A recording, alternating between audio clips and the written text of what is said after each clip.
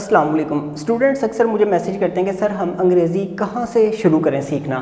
Parts of speech से करें tenses से शुरू करें? या क्या इसका प्रोसेस होना चाहिए? हमें उसका स्टार्टिंग पॉइंट नहीं मिल रहा कि हम उसको कैसे करें? तो आज मैं उसके ऊपर बात करूँगा। देखें, जो पार्ट्स ऑफ़ स्पीच हैं, जो आप बात करते हैं कि जी पार्ट्स ऑफ़ स्पीच की बड़ी अहमियत है। पार्ट्स ऑफ़ स्पीच ये एक्चुअली लैंग्वेज को कंस्ट्रक्ट करते हैं। ये पूरे के पूरे आठ पार्ट्स होते हैं, जो कि मिल के लैंग्वेज को बना रहे होते हैं। तो जो टेंस है वो सिर्फ़ और सिर्फ़ ज़माना है। टेंस क्या है? ज़माना मैं अभी आप इसके ऊपर बात करता हूँ। आपने सिर्फ़ तीन चीज़ों को अभी अर्ली स्टेज में देखना है कि जो तीन चीज़ें आपको अगर आ गई तो आपको अंग्रेज़ी की एक पहली सीढ़ी पे आप चढ़ जाएँगे। उसके बाद बाकी फिर आ, आगे आपके लिए समुंदर है पहुँचने के लिए मंजिल तक। टेंसेज की आप बात करेंगे और एक तीसरी चीज़ हमारे पास है एस वी ओ ये आपको पता होना चाहिए। पार्ट्स ऑफ़ स्पीच ओ और टेंसेज लेकिन इसको किस तरतीब से करना है, मैं अभी आपको बताता हूँ। पार्ट्स ऑफ़ स्पीच में हमारे पास आता है noun pronoun verb number four adjective number five adverb number six article कर लेते हैं या डिटर्मिनेंट्स भी इसको कह सकते हैं। नंबर सेवन है हमारे पास linking words linking words number eight है हमारे पास प्रेपोजिशन ये ऑक्सफोर्ड प्रैक्टिस ग्रामर में उसने ये आठ ही लिखे हुए हैं। इसके अलावा आप जिस तरह मर्ज़ी इसको कर सकते हैं। डिफरेंट बुक्स में डिफरेंट तरह आपको मिलेगा। अच्छा हाँ हमारे पास पता चल गया हमें कि जी नाउन होता है, नाम हो गया किसी बंदे का। प्रोनाउन होता है ही शीट होता है, नाम की जगह पे इस्तेमाल हो गया, ये हमारे पास सारी इन्फॉर्मेशन आ गई है। वर्ब होता है जी गो ईट टेक एक्शन होता है, काम होता है स्पीक है, बोलना, ये सारे वर्ब्स भी हमारे पास आ गए। उसके बाद एजेक्टिव है गुड है बैड है, ये भी हमारे पास आ गया। उसके बाद एडवर्ब्स हैं एडवर्ब्स क्या करते हैं, जो कि इस वर्ब को एक्सप्लेन करते हैं। तो हम यहाँ पे लिख लेते हैं नाइसली लिख लेते हैं नाइसली पोलाइटली लिख लेते हैं। ये भी हमारे पास आ गया। उसके बाद आर्टिकल ए एन दी है। ए एन दी और दिस, दैट भी इसके अंदर आ जाता है। उसके बाद लिंकिंग वर्ड्स भी आ गए एंड बट सो वगैरह हमने लिंकिंग वर्ड्स कर लिए। प्रेपोजिशन हमारे पास आ गई टू इन ऑन अच्छा ये पार्ट्स ऑफ़ स्पीच तो आ गए, लेकिन इनको जोड़ना कैसे है? असल गेम ये है। जो हम फॉर एग्ज़ाम्पल मैं कहता हूँ मैंने एक नाम ले लिया। नाम मैं ले लेता हूँ अली। अली मैंने नाम ले लिया। उसके बाद मैंने ये देखना है कि इस स्ट्रक्चर में कैसे मैं फिट करूँगा। मैं पहले इस पर डिटेल्ड लेक्चर्स दे चुका हूँ, लेकिन मैं आपको सिर्फ़ आज ये चीज़ बताना चाह रहा हूँ कि लैंग्वेज को आपने शुरू कैसे करना है। आपको किन चीज़ों का पता होना चाहिए। अच्छा अली को हम एज ए सब्जेक्ट ले लेते हैं। सब्जेक्ट कहते हैं जो काम कर रहा होता है। अली से हम कोई काम करवा लेते हैं। अली से दौड़ लगवा लें या अली को कहीं भेज दें। या अली को कहीं बुला लें किसी जगह पे, या अली से बुलवा लें। चले, अली से बुलवा लेते हैं। अली इनवाइटेड इनवाइटेड अली ने क्या किया? काम कर लिया। ये काम है और ये सब्जेक्ट है काम करने वाला, जिसको हम फ़ाइल कहते हैं। अली ने इनवाइट किया। किसको इनवाइट किया है? वो अभी यहाँ पे मैं लिखना चाहता हूँ। फ्रेंड्स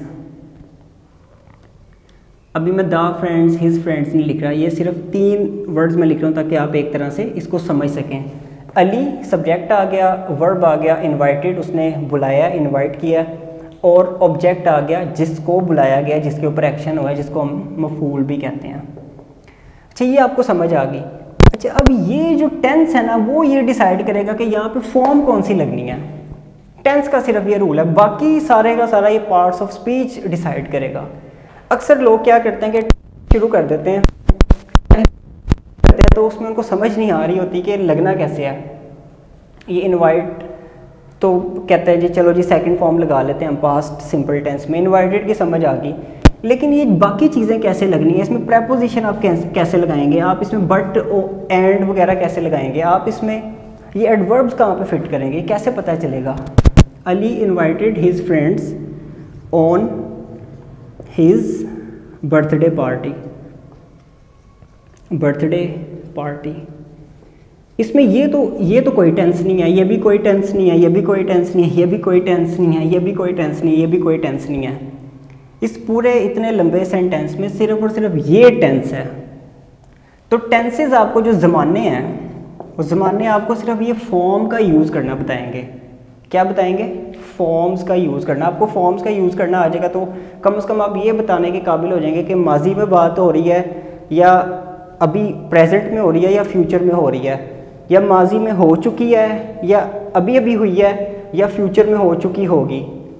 या रोज़ाना होती है या कल हुई या कल होगी। या 1990 से हो रही है या 1900 2000 से हो रही थी या आगे आने वाले 2025 से हो रही होगी। ये टेंस आपको बताएगा। यानी कि जो बारह टेंसेज होते हैं, ये बारह टेंसेज आपको सिर्फ़ और सिर्फ़ ये बताएँगे कि एक्शन की नोयत क्या है। एक्शन की नोयत क्या है? टेंस ज़माना, इस एक्शन की। बाकी ये जो चीज़ें हैं, सारी की सारी, ये सारी की सारी, ये आपको स्पीच ये बताएँगे कि स्ट्रक्चर को फिट कैसे करना चाहता हूँ। ताकि आपको इसकी मज़ीद कुछ हो सके।